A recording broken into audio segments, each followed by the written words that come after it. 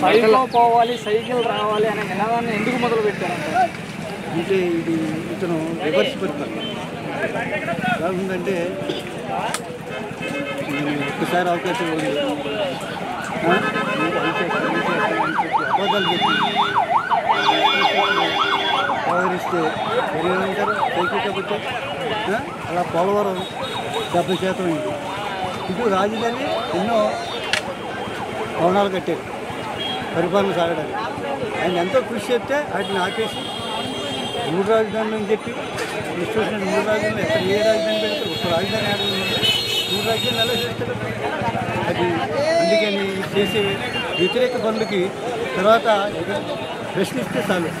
దాన్ని జైల్లో పెట్టారు లేకపోతే హింసలు పెట్టి కొట్టడాలు ఇట్టాలు నాయకులనే ఇబ్బంది పెట్టేస్తున్నారు.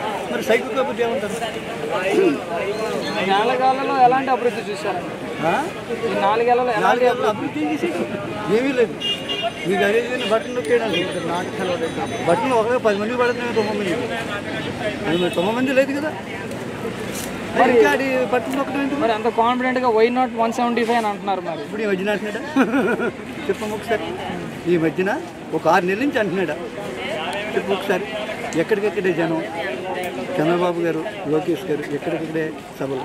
ఆయన ప్రతి చోట ఇదేం కర్మ. బౌద్ధలే బౌద్ధుల కార్యక్రమాలు పెట్టారు. ఈ జనాన్ని చూసి ఆడుకు పుచ్చబడిపోతుంది ఆ విధంగా ప్రతి దానికి కూడా జనం వచ్చే గోల్డ్ నిబంధనలు ఒకటోది ఒకటి తెచ్చింది దాన్ని రద్దు చేశారు. కోర్టు. ఈ సభలు ఎందుకు పెట్టుకోరు? నువ్వు పెట్టలేదా? ముద్దులు పెట్టావు. ఇది ఇది ఇమ్మంటే వెళ్ళి అప్పుడు చంద్రబాబు గారు ఏమైనా అడ్డంకు అడ్డంకులు చెప్పారా మరి? అడ్డంకులు మేము ఉన్నాం. ఏ టైంలో కూడా అతనికి బస్సులు ఇచ్చాం. అన్ని సౌకర్యాలు చేసాం ఏ, సెక్యూరిటీ ఇచ్చాం. ఎక్కడికక్కడే. అలా చేస్తే ఇది అలా నువ్వు ఏదైనా ఒక బస్సు ఇస్తున్నావు ఏదన్నా పోలీసులు చేస్తారు పోలీసులు ఏమంటారండి? మరి అంత ఎక్స్పీరియన్స్ ఉన్న చంద్రబాబు గారి చేత కంటి కంటినీరు పెట్టించారు. పెట్టించారంటే సైకాడు. సైకో ఎందుకన్నారా? ఇప్పుడు ఇప్పుడు వరకు కూడా ఏ సీఎం అనే ఎంతమంది పదహారు మంది పదిహేడు మంది ఏడుతో పదిహేడు మంది సీఎం చేశారు. ఇప్పుడు వరకు అటువంటి సీఎంను మనం చూసామా? వాళ్ళ నాన్న చేశాడు ముఖ్యమంత్రి. అతను ఏమైనా చేశాడా? పెద్ద మనిషి వ్యవహారంగా అతను వెళ్ళిపోయేవాడు అతను చేశాడు అలానే. కానీ కుక్క నాకు తండ్రిలా కదా అది లేదు అది లేకుండా పెద్ద చిన్న.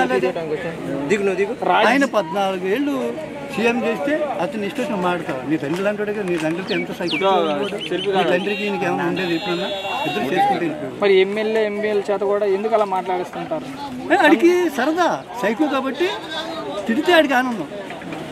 సైకో కదా ఒక ప్యాకెట్ అది దాని గురించి ప్యాకెట్ విధానం ఎలా ఉంటాయి? అలాగే వెళ్తాడు తప్ప మామూలుగా విధానంగా వెళ్ళాలంటే వెళ్ళడు. వెళ్ళలేడు కూడా. అది పరిస్థితి ఇలా అమరావతిలో మొత్తం పరిశ్రమలు వస్తాయి అన్నీ వస్తాయి అన్నీ చేసాక. వాళ్ళ భూములు ఎవరినో బయట తీసుకుని బయట వాళ్ళకి ఇవ్వడం ఏంటి? ఇది పని ఏంటి వీటికి అవసరం ఏంటి అసలు? ఎందుకు ఇస్తున్నారు మరి? ఏంటి? ఇప్పుడు కోర్టు ఇచ్చిందా? కోర్టు బుద్ధి చెప్పింది కదా. రేపు పొద్దున్న అమరావతి ఇది కూడా కోర్టులో ఉంది. అది కల్పిస్తాం. మీది నిక్కచ్చి కాదు ఇది. కొన్ని నాలుగు తీసుకోవడానికి అయ్యి అంతే తప్ప ఏం కాదు. ఏంటి అది సైకో కాబట్టి పద్ధతి చేస్తాడు వద్దన్న పని చేస్తాడు.